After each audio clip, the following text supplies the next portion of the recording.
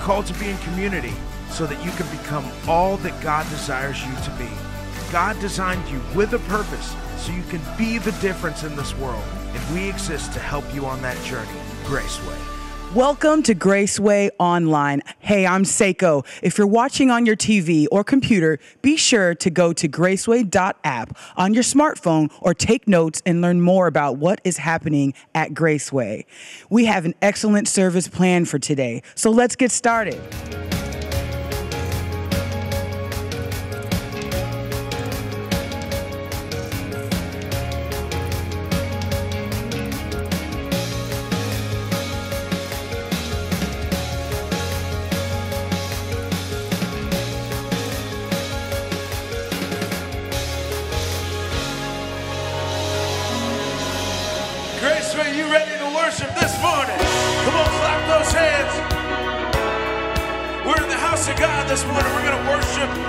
Jesus with everything we got.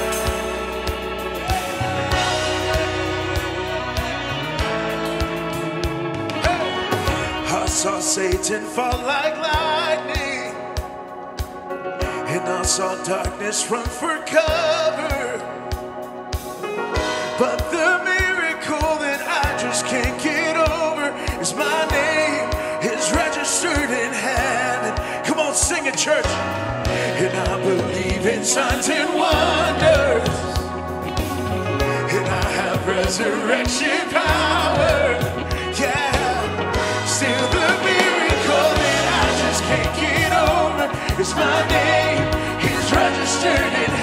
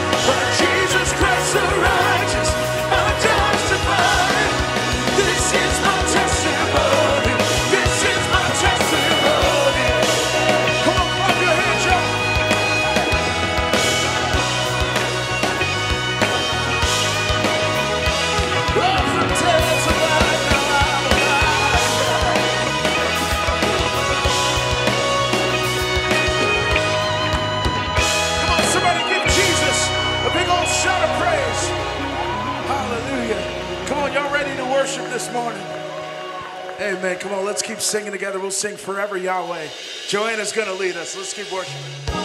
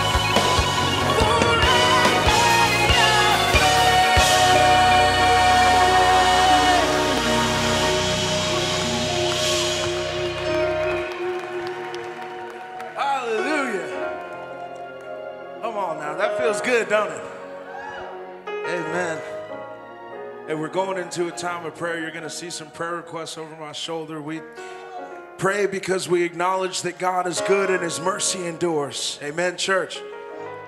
Amen, church. Come on now. We also pray because God listens to us and he responds to us. Amen, church. Amen. Come on, take a moment and check out these prayer requests on the back wall, and I'll come back and pray for them, all right?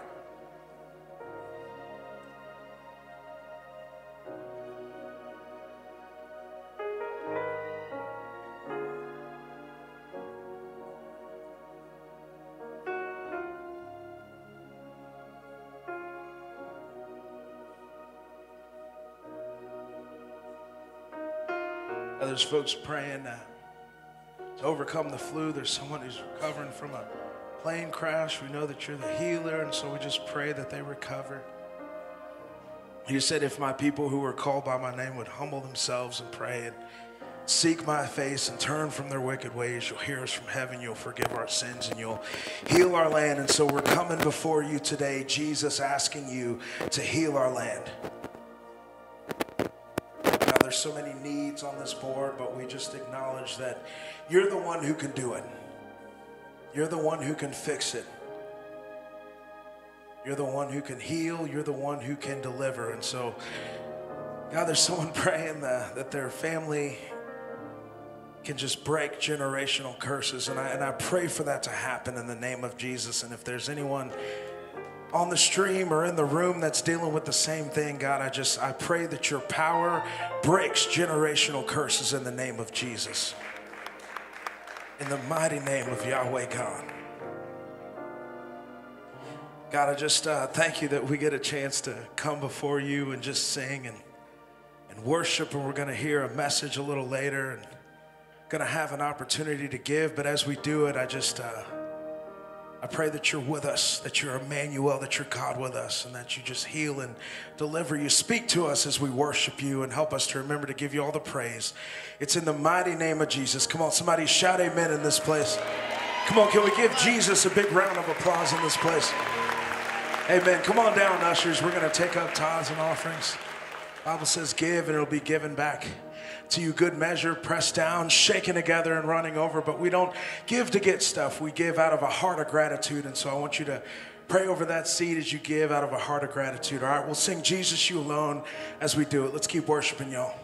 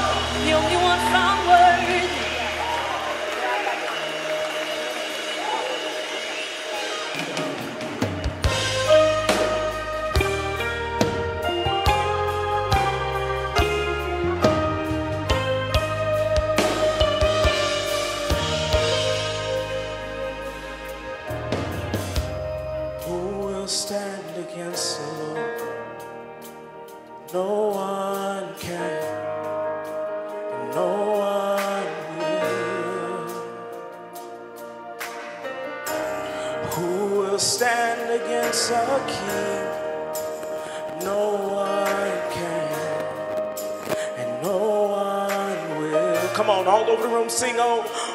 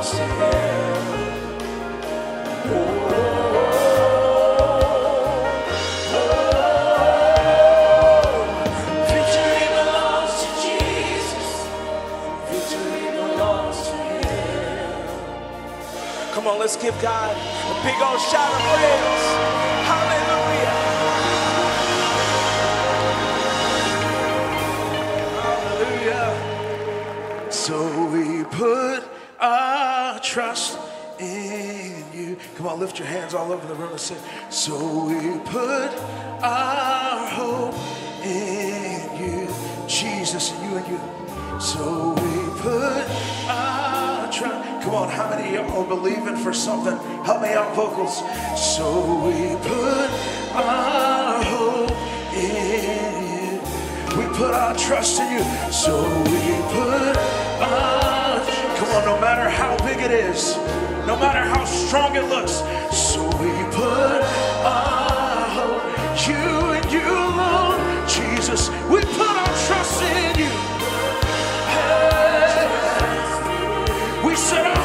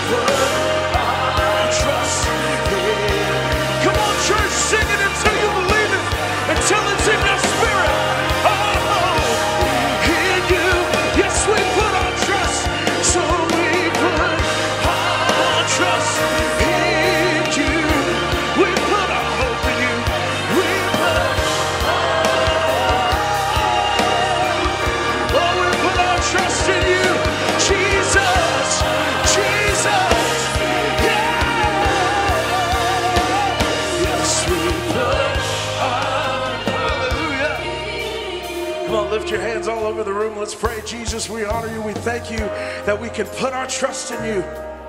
Thank you that we can set our hope on your firm foundation. I pray for the word that's going to be brought forth. I pray that it falls on good ground. Help us to remember to give you all the glory and the honor and the praise. It's in the matchless name of Jesus. Come on, somebody, shout amen in this place if you believe it. Come on, shout a little louder. Hallelujah. High five your neighbor before you take your seat, y'all.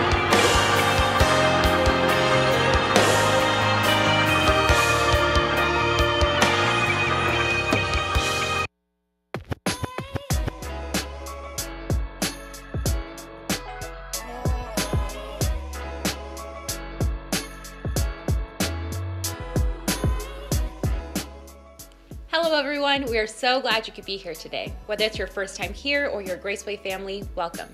If this is your first time, make sure to check out the seat in front of you. You'll find a Connect card that you can fill out so we know that you joined us here today. Or if you prefer digital, you can scan the QR code and fill it out by going to graceway.app. Graceway's Growth Track is today and is a great opportunity for you to learn more about us and for us to learn more about you. We'll meet in room 102 at 12 p.m. for step four Make a Difference, a session that will show you how you can make an eternal difference in the lives of others. You'll also learn about the multiple serving opportunities we have here at Graceway, hear from our Dream Team leaders, and take that vital step toward embodying your purpose through service. Next, make sure to join us this Friday for our Good Friday service at 6:30 p.m. This is a family-friendly service where we gather to remember and reflect on the ultimate sacrifice that Jesus made for us on the cross. Then, invite someone to Easter at Graceway next Sunday, March 31st at 8:30, 10, and 11:30 a.m. We hope you can join us to celebrate the resurrection of Jesus Christ. That's all I got for you this week. To stay informed about all of our upcoming events or to take notes during the service, visit graceway.app. Thanks for joining us today, and we hope to see you next Sunday.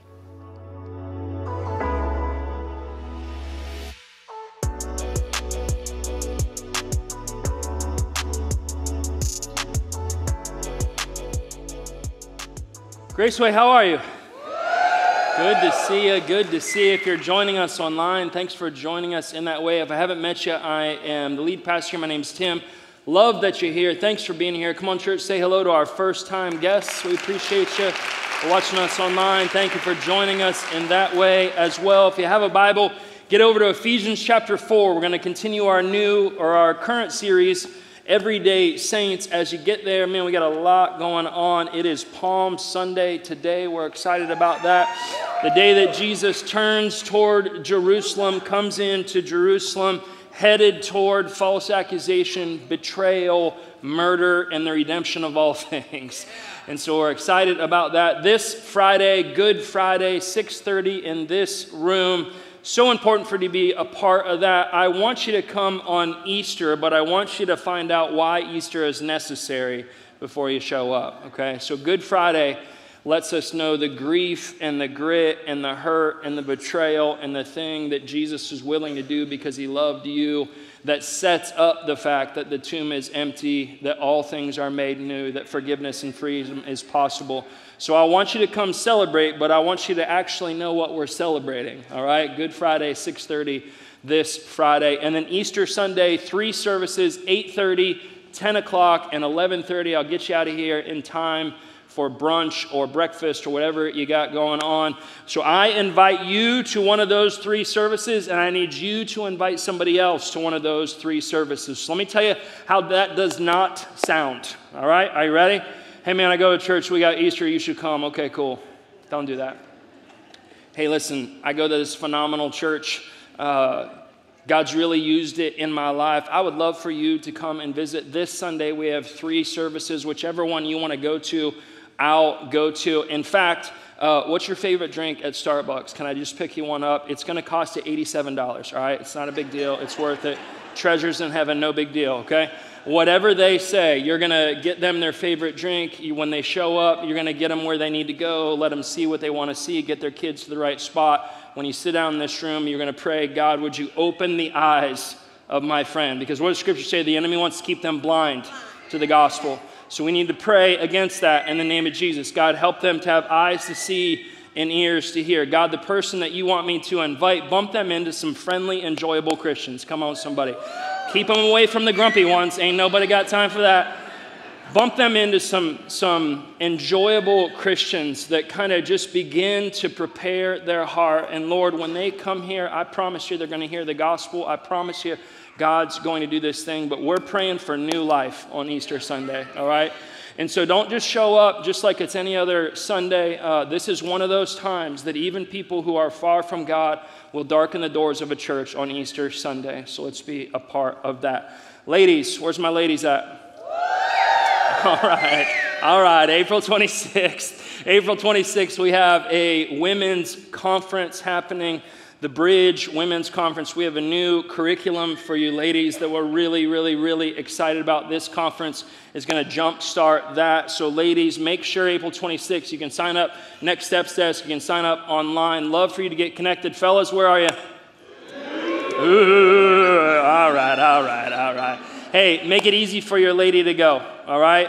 Make it, just sign her up. Sign her up. Say, babe, of course you're going to go to that. And when she says, who's going to watch the kids, you're going to say, it ain't babysitting if I made them. All right?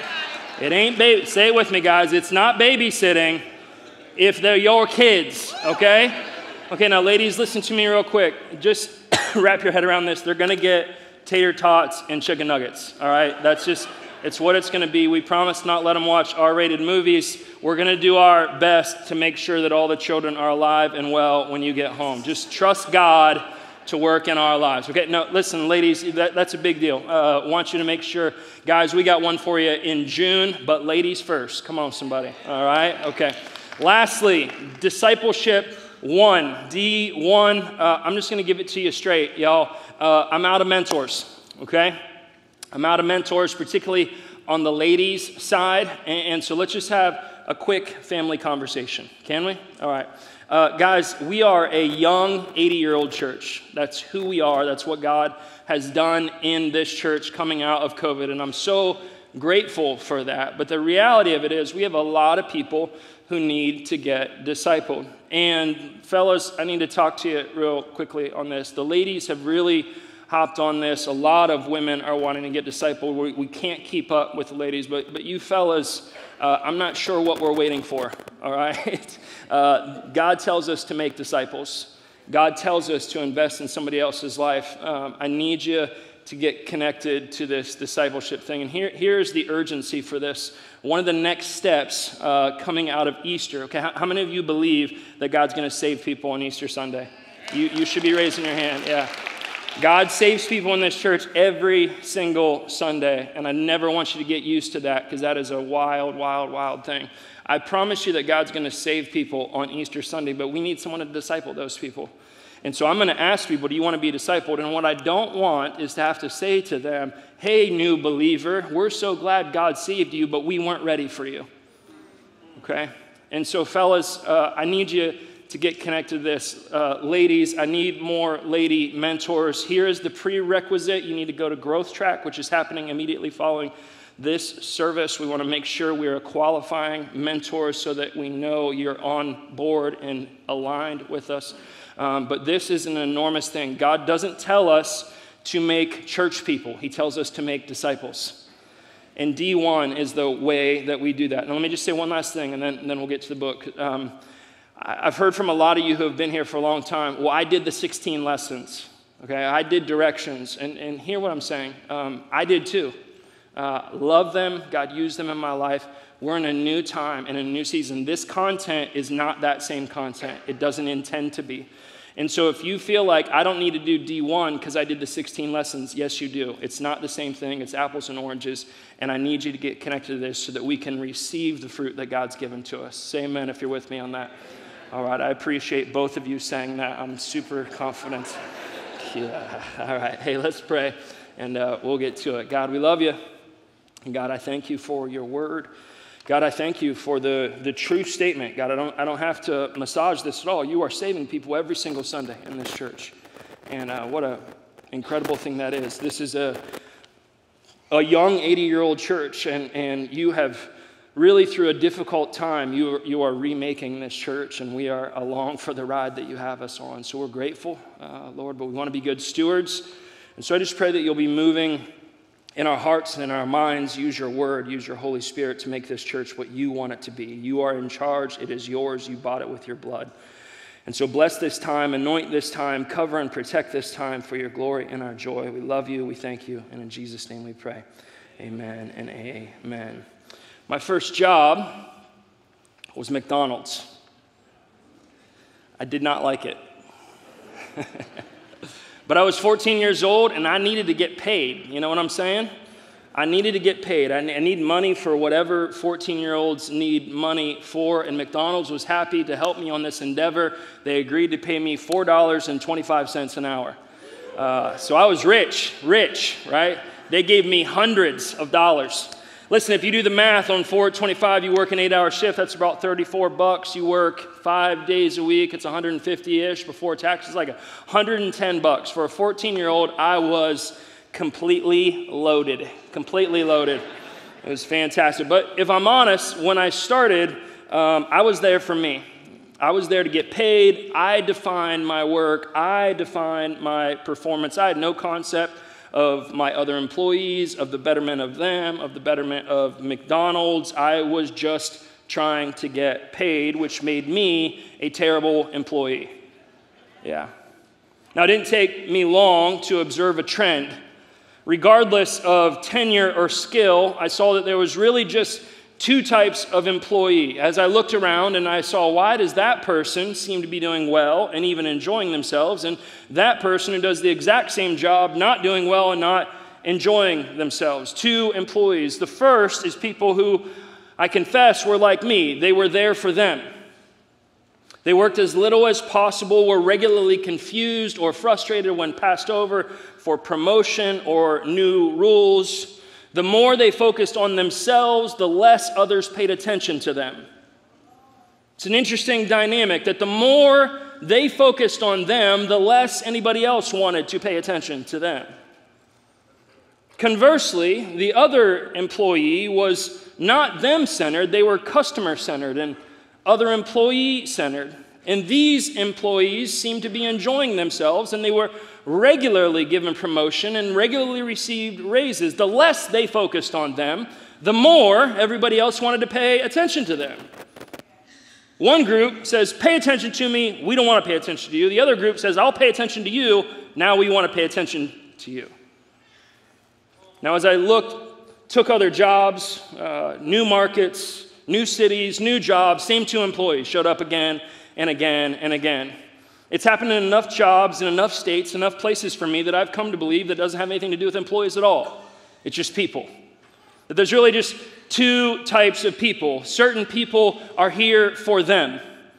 Look at me and what I want and what I need, and if I have to use you to get what I want, I'm willing to do that. And I've noticed that over time, the people who focus on them, nobody wants to pay attention to them.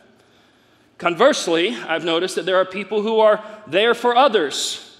That any room that they walk into, they're looking to bless somebody. They're looking to be a part of what's happening in that room. And I have noticed that the person who's focusing on them always has a friend, always has somebody who wants to come alongside of them, always, always is trying to elevate them. They're not being opposed because of their pride, they're being exalted because of their humility. And this is the argument that Paul is going to make to the church at Ephesus. Paul has turned the corner on the book of Ephesians. He has spent the first three chapters talking about everything that we have in Jesus. I told you that the book is divided into three categories sit, walk, stand. The first three chapters, Paul doesn't talk about what you should do, he talks about what Jesus has done.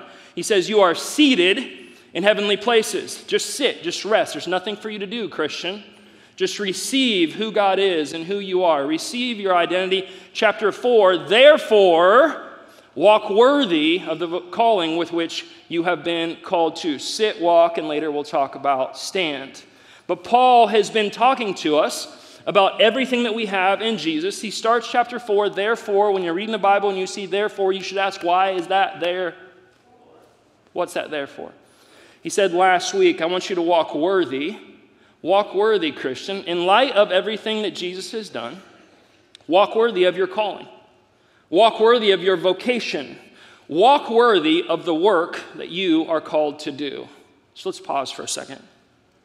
In light of everything that God has done for you, If I just were to look at your life, and, and the word that Paul uses there, worthy, walk worthy, the word means estimable. Your life is an estimation of your value on what God has done for you. Walk worthy of the calling that you have been given. Your use of your calling estimates your value on what God has done. So if I were to look at your life and say, how you doing with your calling? How you doing with your ministry? How you doing with the reason that God put you on this planet? Are you walking worthy of what God has done? Or are you focused on other things? And it all happens to us. We get bogged down with the cares of this world. We get sleepy in our faith. We get apathetic about the church. I got money to make. I got spouses to marry. I got cars to drive. I got houses to build. I have tuition to pay. I got stuff to do. God says, I called you to something. Are you walking worthy of that calling? Paul isn't correcting the Ephesians.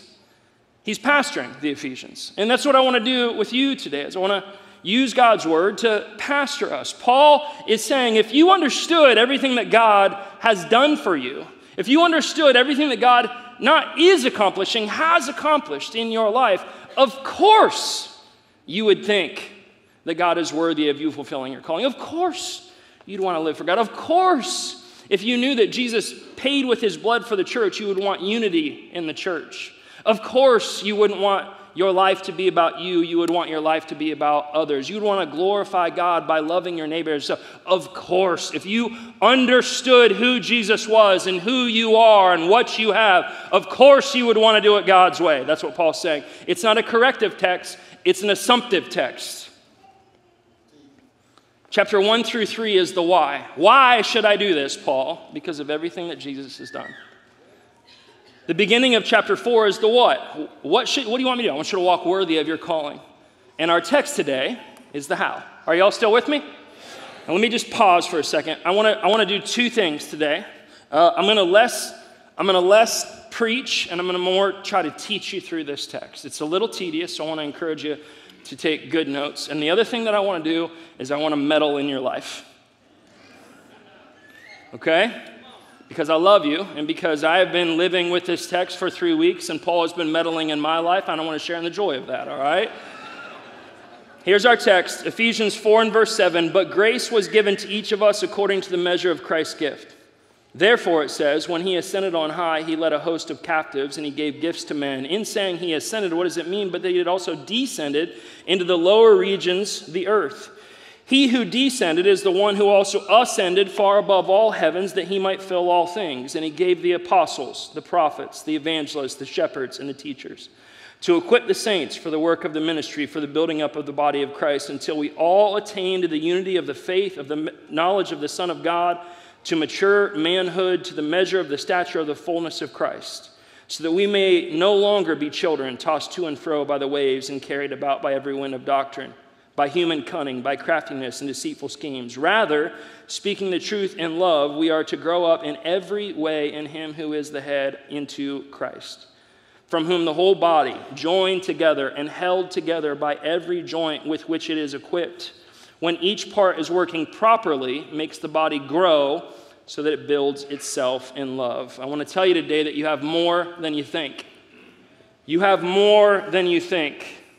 This text lets us know that you have more abilities, supernatural ability, than you think that you have. The reason that I say that is that Paul says this grace, this gift, was given to each one of us. Now, Paul has already talked about grace. He had talked about the grace that saves us, the grace that allows us to be sons and daughters of God, the grace that seats us in heavenly places. He now transitions to the grace of being gifted. It's not salvific grace, it's the gift of grace. Every Christian in this room, don't miss this. If you're a follower of Jesus in the room, doesn't matter where you come from, doesn't even necessarily matter what you believe, what your tradition is. If you are in this room and you're a follower of Jesus, you have spiritual gifts.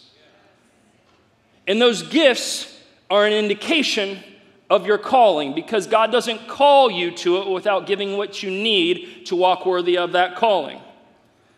Your gifts are tied to your calling, your calling is tied to your purpose, and Paul says, walk worthy of your calling. Now, he says something interesting. He gets into this parenthetic, uh, kind of odd text in Ephesians chapter 4. He says that Jesus led a host of captives and he gave gifts to men. He's quoting Psalm 68 here. And the idea is that Jesus on the cross achieved a victory. Psalm 68 is a text that we refer to as Christus Victor, the victory of Christ. That on the cross, Jesus didn't just achieve a victory that means if you pray a prayer, you get to go to heaven when you die. Rather, that on the cross and on Easter, Jesus renewed and everything and defeated sin and death permanently. That he stepped on the face, as it were, Genesis chapter 3, of Satan on the cross. Psalm 68 is talking about David achieving a military victory and walking POWs, defeated foes, and loot from his victory through the city that he was inhabiting. And Paul is essentially saying, on the cross, Jesus went to hell, stole the house keys, went to heaven, and walked defeated foes through heavenly estate with the spiritual loot, so to speak, in tow. It's an interesting idea. It's also clear that Paul is referencing a liturgical custom in the synagogues at the time, which took Psalm 68 and connected it with the day of Pentecost. On the day of Pentecost, the Jews commemorated Moses' ascent, important word, up to Sinai and his descent with the gift of the law. And Jesus says that Jesus is our true and better Moses who ascends to heaven, and then the Spirit descends and doesn't give us the gift of the law, but through grace gives us the gift of gifts. Everyone has gifts. Why? Because Jesus won. Everybody in this room has gifts.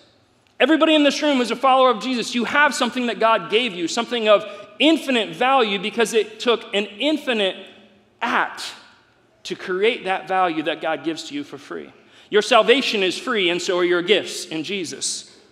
And because you have those gifts, here it is not only do you have more abilities than you think, you have more responsibility than you think. I, I find, especially in America, that we take a, a very passive, a very optional view of the church. Can I tell you, fellas, I've already been in your face a little bit, so why stop now? Since COVID, most men attend church 1.3 times a month. And ladies, before you get to, oh,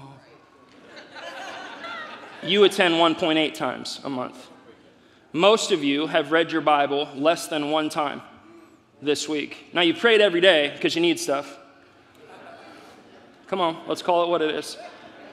And when you do come to church, you attend church and you come in and you kind of sit there and, oh, that was good today, not good today. I liked it, I didn't like it. Why was Tim wearing that? Why can't he grow hair? I don't know, all right? But you're taking a, an, an observational perspective of the church. Can I tell you, God doesn't passively gift you, He actively gifts you. 1 Corinthians 12, now there are varieties of gifts, but the same Spirit. There are varieties of service, but the same Lord. There are varieties of activities, but the same God who empowers them all in everyone. To each is given the manifestation of the Spirit. Here it is for the common good. If you have gifts, those gifts are for the common good. Those gifts aren't for you.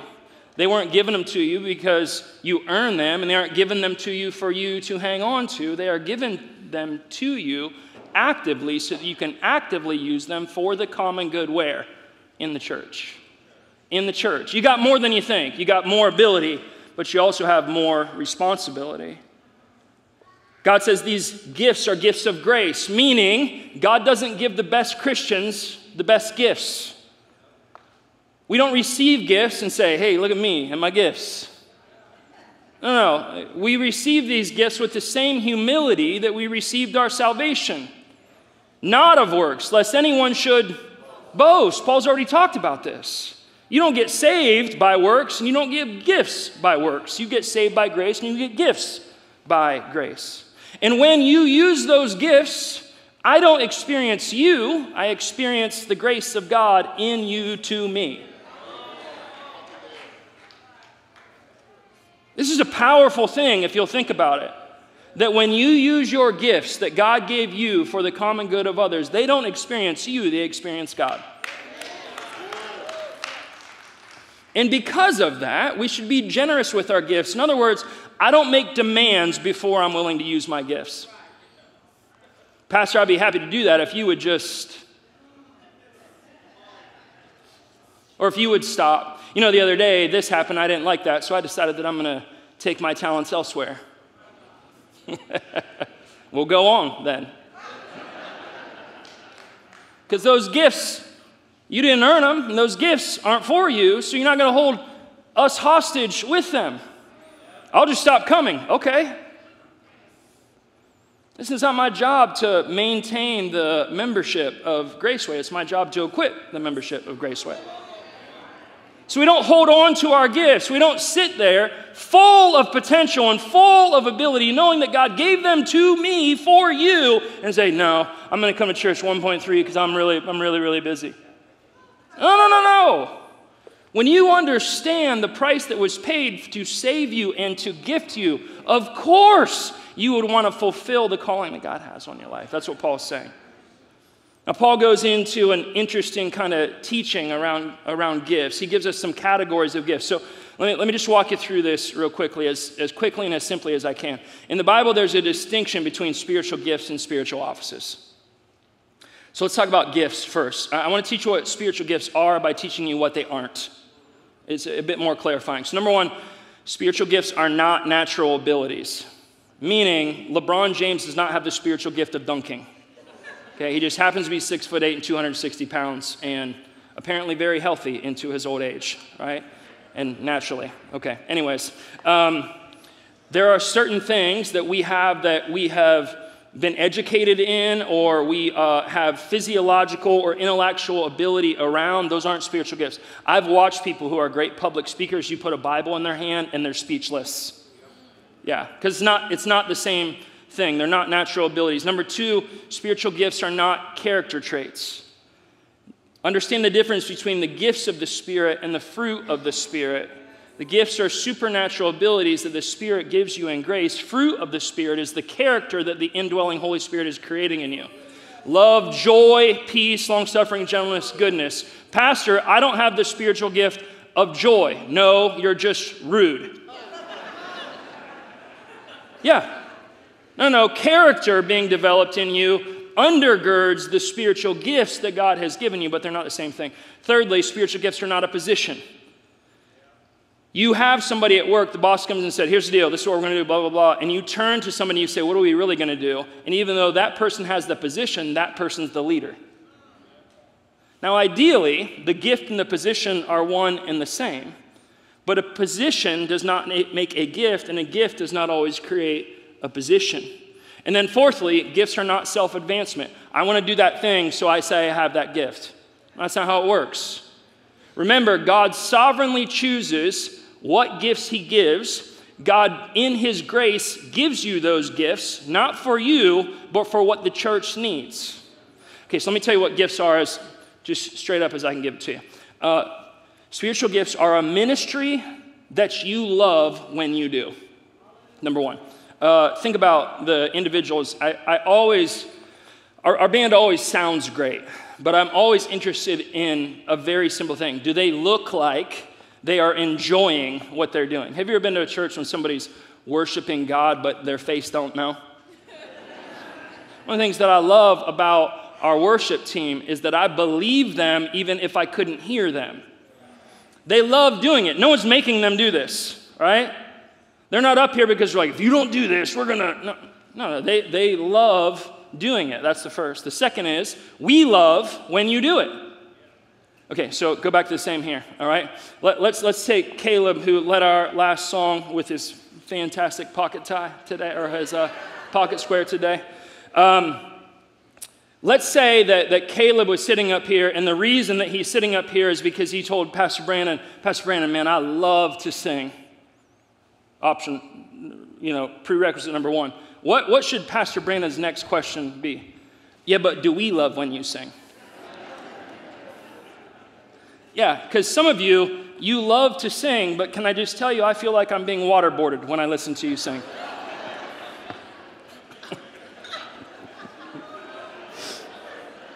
I'm not saying you wouldn't feel like you were being waterboarded when I sang, but I'm not up here trying to sing, okay? Yeah, yeah, because a gift, if the gift is for me, just because you like to do it doesn't preclude my involvement in it. You love to do it, I love when you do it, and when you do it, it works, number three. So, watch, whenever this team sings those songs, what do you want to do? You want to sing with them, and that's the point. Can I tell you, I don't want to worship Jesus when I listen to Adele. I love listening to Adele. She's got a ridiculous, ridiculous voice. I'm not, look, I'm not too proud to say it. I listen to Adele, all right? But I don't want to worship Jesus when I listen to Adele. Why? Because that is a natural ability, not a spiritual gift. You love to do it. We love when you do it. It works when you do it. Okay, now offices are different than gifts in a very simple way.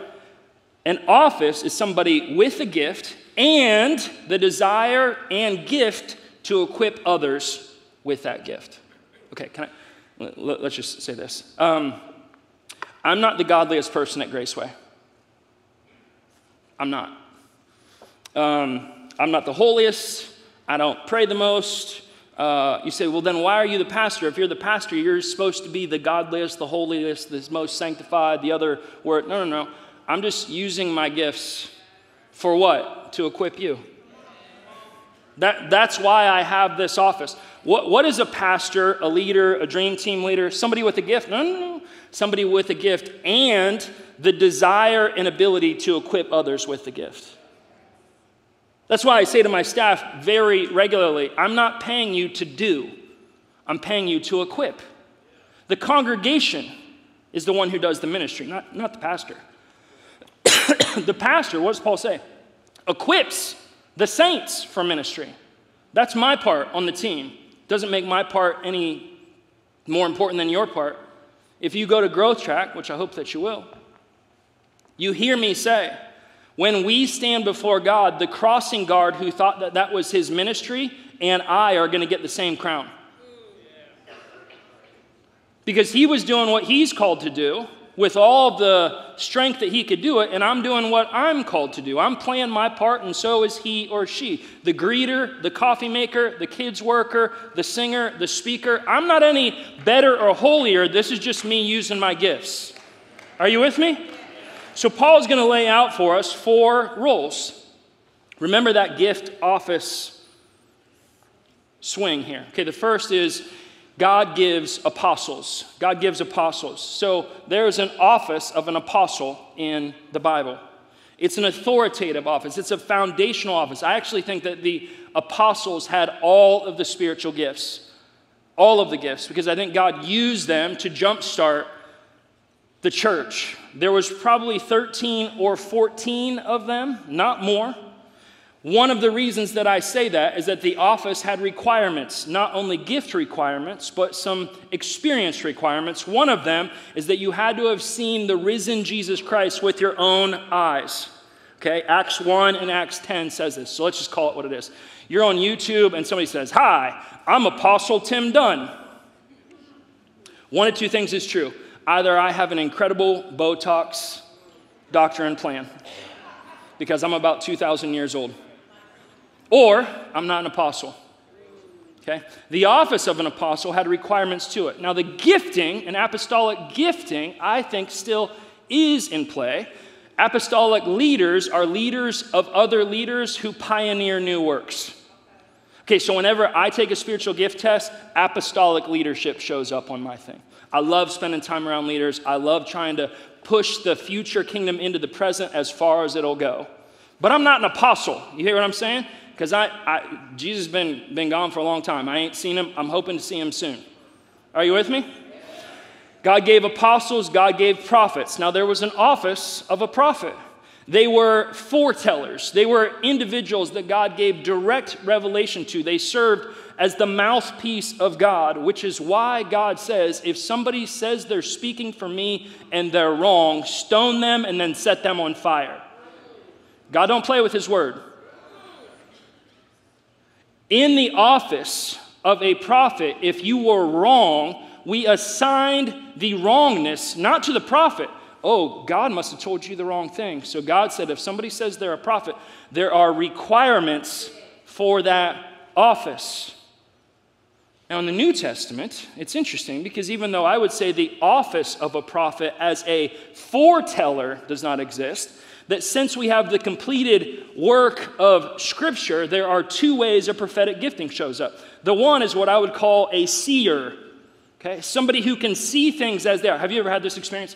Somebody comes up to you and they say something, you say, Bro, there's no way that you can know that.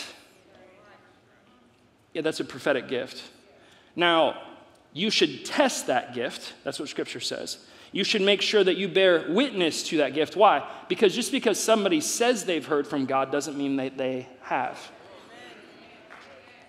But sometimes I've had people say, Bro, I feel like God wanted me to tell you, and that's a great way to start that. I feel like God wanted me to tell you. Now, I could be wrong, but I feel like God said for you this. Does that make sense to you? That's a prophetic biblically prophetic statement. I'm not telling you this is what God says. I, I am bearing witness to what I think God is saying to me. That's a prophetic gifting, not a prophetic office.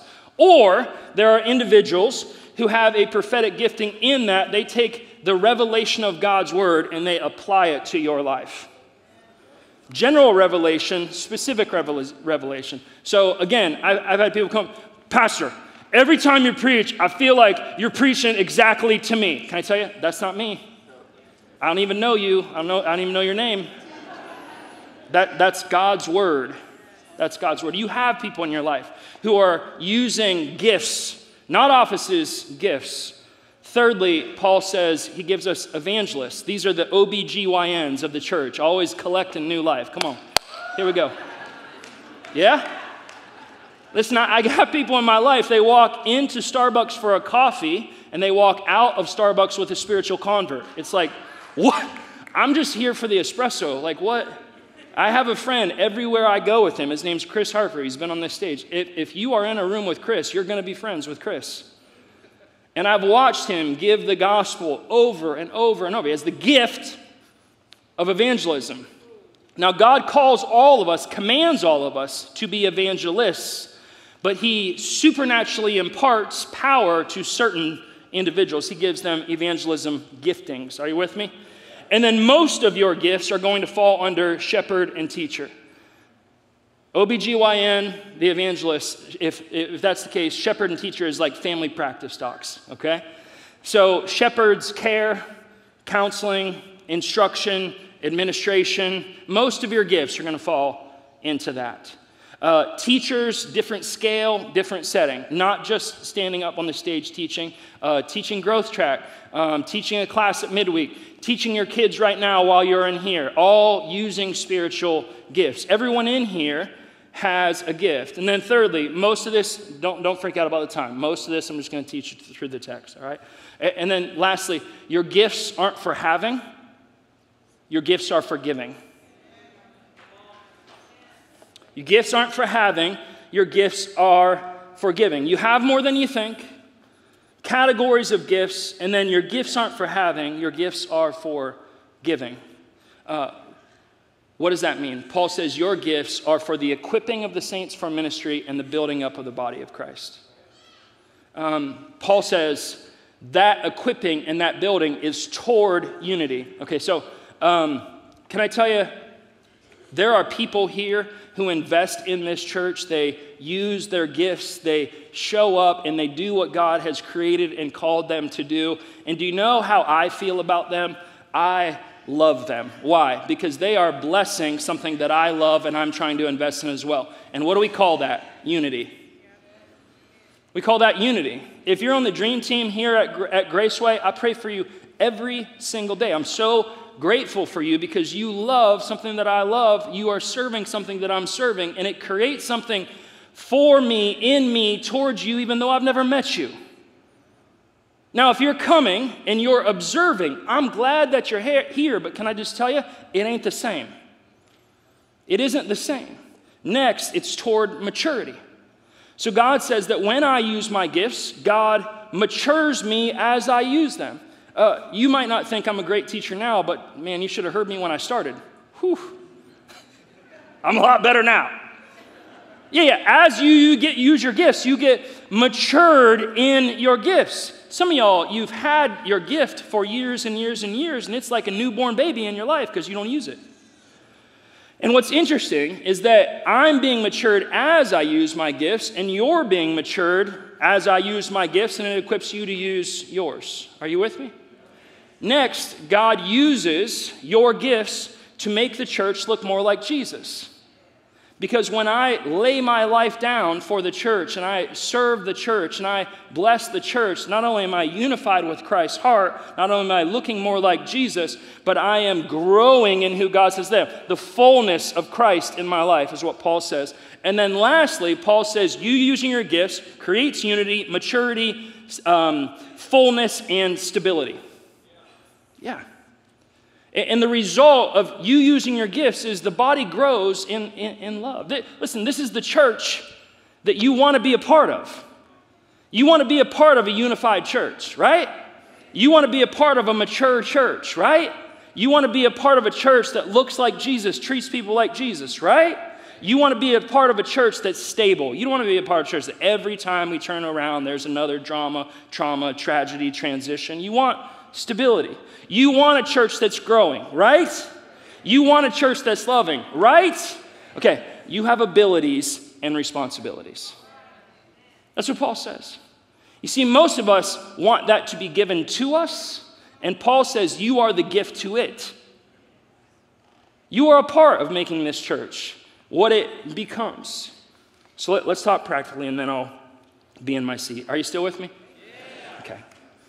Um, you can't become everything God wants you to be without the church.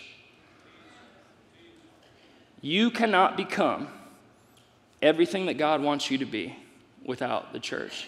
You say, Well, I don't like this church. Please hear me. Then let me help you find another one. I've done that many times over my years here. I know this church isn't for everyone. I'm not, I don't always like me. Come on, all right? But you, you cannot lay hold to the plans and promises of God in your life without the church. Paul doesn't teach it in a positive way, he teaches it almost in a negative way. So let's say this way you can't be equipped without the church. You, you say, no, no, I listen to podcasts. Listen, if you think the only equipping at this church happens on Sunday morning, you're misunderstanding what's happening.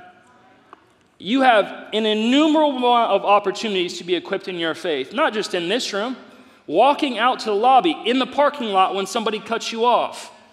Everything at church is intended to instruct and to equip you. Watch all the podcasts you want. It is not a replacement for participation in the church. Number two, you can't be mature without the church. Because again, we're not just consuming information. No, no, no. I'm growing through the interactions that make the church what it is. Listen, you came to church today. You came to a, the church came to the building. You didn't come to church. The church came to the building. And you can't be growing, I don't mean without this building. You can't be growing without the push and pull, the tensions, the struggle, the conflict that happened from us trying to do life together. Listen, you can't grow without some resistance in your life. You can't experience the fullness of God without the church. That's God's plan. You say, well, that's frustrating. I know. I know. Wouldn't it be easier? Wouldn't it be easier? And you can't be stable and strong without the church. Listen, some of y'all keep testing this theory. you, you men, you come one time a month, you send your wife, and you want your family to be strong. Come on, what are we talking about? You're the spiritual head of your home. You're the spiritual leader of your home. She should be trying to keep up with you, not the other way around. Listen, I, am going to be real straight with you. We, we got a prayer team. I lead the prayer team. It's 90% women. Why, guys? Where are you? Where are you at? The church needs you, and you need the church. And, and, and you attending isn't, it isn't enough. Now, it makes you better than most other Christians. Sure, great, I'm glad. Uh, but, but some of you, you, you, don't show up for six months and, and, and you pop in when the pressure on your life gets big enough. instead of being a part of this body. And just look around, it's all the ladies clapping. You, don't, you can turn the music off. I'm not done. All right?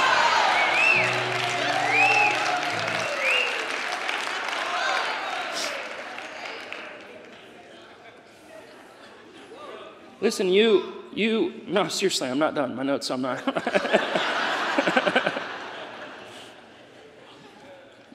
I meant about my notes. Uh, my notes, all right? I'm not putting anyone on blast. Listen, you, you, can't be, you can't be strong if you're not a part of the church. You can't be blessed if you're not a part of the church. You can't be equipped if you're not a part of the church.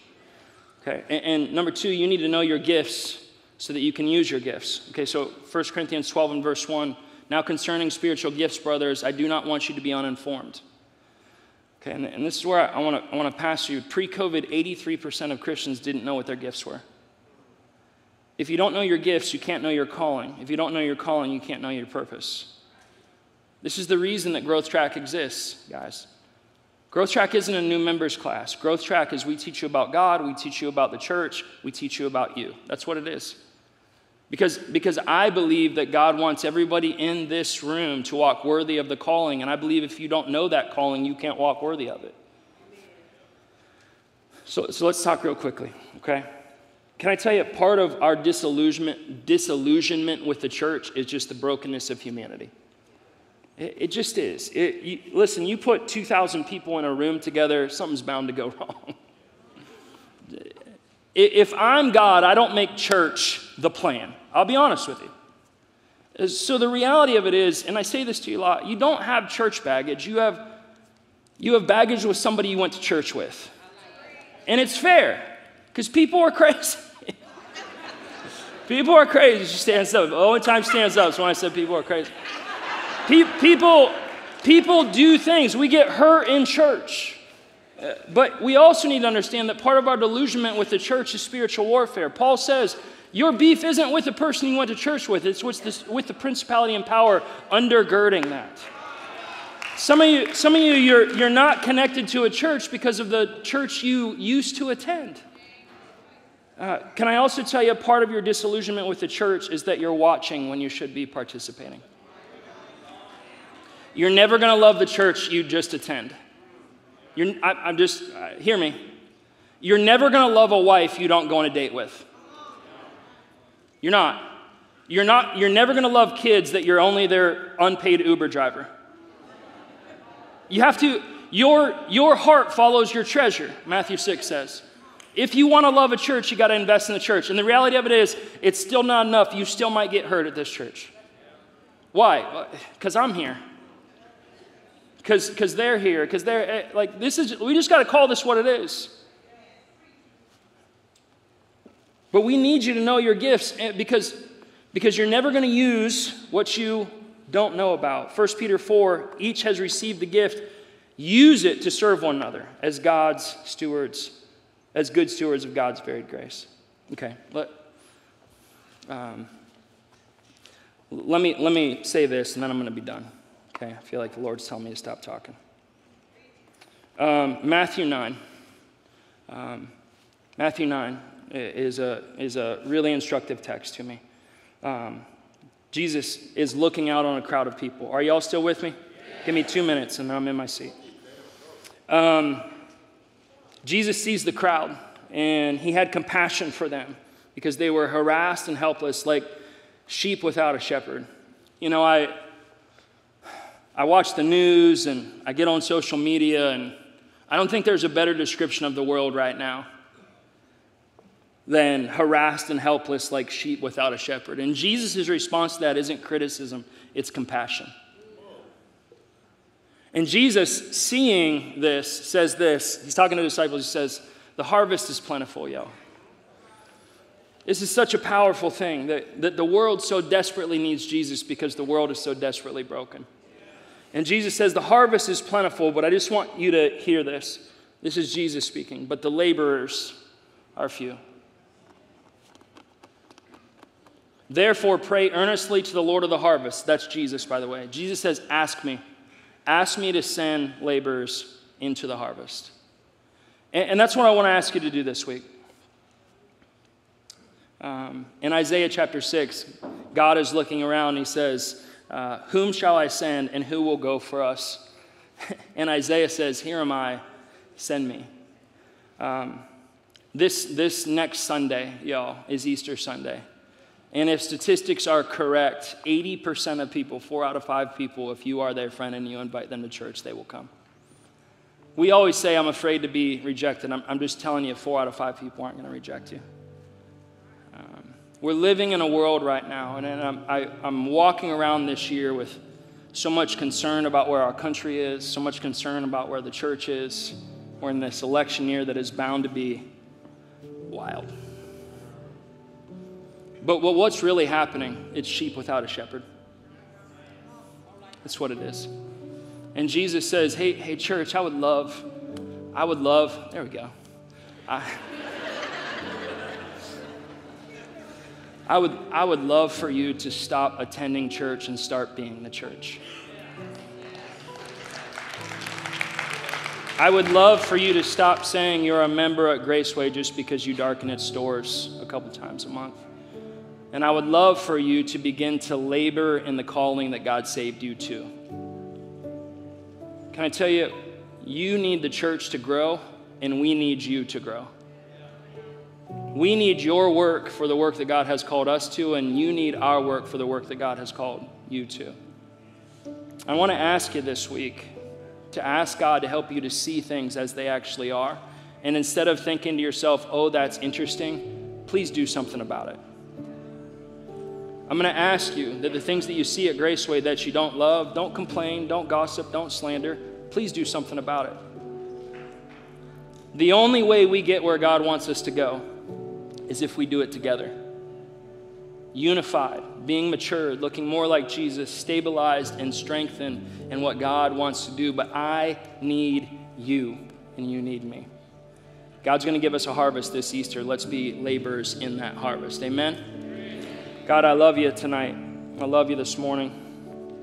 I thank you for saving me as a 16 year old kid and for giving me gifts that I didn't deserve. And Lord, you have literally let me go all over this planet using those gifts. And Lord, what a privilege it is. There's nothing in my life that I would rather do than what I get to do. And Lord, I want that to be true for everybody in this room. I want them to get up anticipating. I want them to get up on purpose. I want them to get up and see the world as it is and labor in the field. I ask you, Lord, to make us an active church, an active membership church, a participating church, an investing church, Lord. That as we do that, you'll meet us in the work that you've called us to.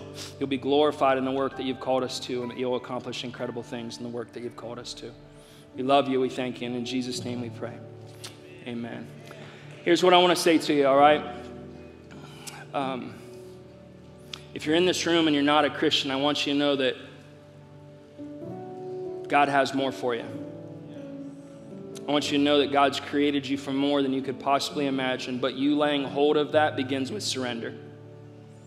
You laying hold of everything that God has for you begins with surrender. And so, if you're in this room, I never want to fail to give this invitation and you're not a Christian. I want to pray a prayer and I want to ask you to pray this prayer with me and then we'll go home.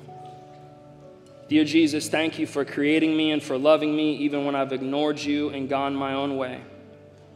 I know that I need you in my life. I'm sorry for my sins against you and others. I believe you died on the cross for my sins and you rose again. You are God and I am not. I ask you to forgive me as much as I know how. I'm ready to change direction by giving you my life. I'm ready to follow you from now on and do what you want me to do. Please come into my life and make me new on the inside. Help me to grow so that I can be like you. And everyone, keep your eyes closed for a minute. If that's you and you are not a Christian, but today you want to surrender your life, your heart to Jesus, I want you to just raise your hand. I'm not going to call you out, not going to have you stand up.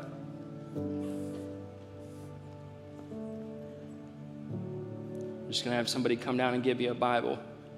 All the promises of God begin with surrender. Here at Graceway, we want you to get everything that God has for you.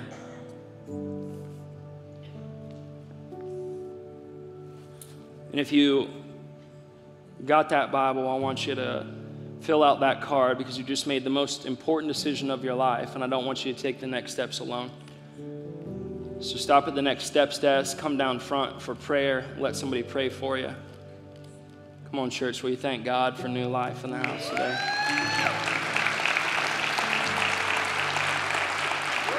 And if you walked in here and you're harassed, you're heavy, I want you to come down. Let us pray for you. Let us be a blessing to you. If you haven't gone to Growth Track, go to it noon on the other side of that wall. If you came prepared to give, you can do it. Graceway, I love you. God's going to do incredible things this week.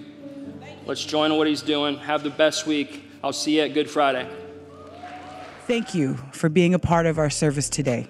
We believe God wants you to discover your purpose so that you can make a difference to those around you. Go to visitgraceway.org slash growth track to learn more about Growth Track and learn how you can join us. Sign up for our weekly text newsletter to learn more about what is happening at Graceway by going to graceway.app slash hello.